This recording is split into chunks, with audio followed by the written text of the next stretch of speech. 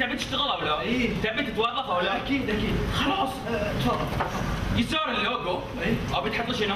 شنو؟ اليوم اللي سويت فيه ال design ما يصير اليوم نحط فوق إن المواهب لا تعترف بالأعمار ففي بهو مركز التسهيلات للإعلام في جامعة البحرين تبرز أمام أعيننا مواهب الطلبة حيث أقامت شعبة الإعلام الرقمي بجامعة البحرين معرضا بعنوان طبقات الأول والذي ضم عددا كبيرا من أعمال طلبة شعبة الإعلام الرقمي وحضر المعرض حشد كبير من الطلبة من مختلف الكليات وعدد كبير من الأساتذة المشرفين وممثلين عن الشركات ذات التخصص.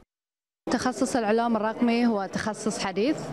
فاحنا حابين يعني من أهداف المعرض إن إحنا نوصل فكرة آه، التخصص مالنا نبي نعرف الشركات والمؤسسات يعني مستوى الطلبة إبداعاتهم وإن شلون يقدرون آه، يستغلون هاي المواهب حق آه، إن شاء الله في مؤسساتهم.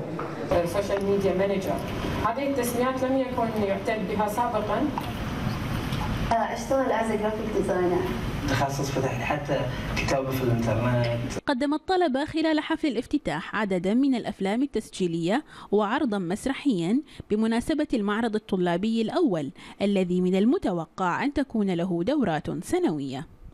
آه، طبعا تكمن أهمية هاي المعرض من أهمية التخصص نفسه تخصص الإعلام الإلكتروني أو الإعلام ال- آه، اللي هو ال multimedia تخصص جديد.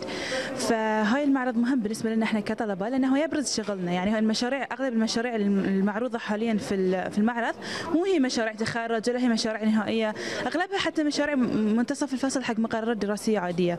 ويهدف المعرض إلى تقديم أعمال طلبة الإعلام الرقمي التي قدموها كمشاريع في بعض المناهج الدراسية المقررة إلى سوق العمل نظرا لحضور عدد من الشركات العاملة في مجال التصميم الجرافيك وغيرها من التخصصات الرقمية مما سيفتح أمام الطلبة مجالات عدة في إيجاد الوظيفة المستقبلية المناسبة والتعريف بقدراتهم في هذا المجال.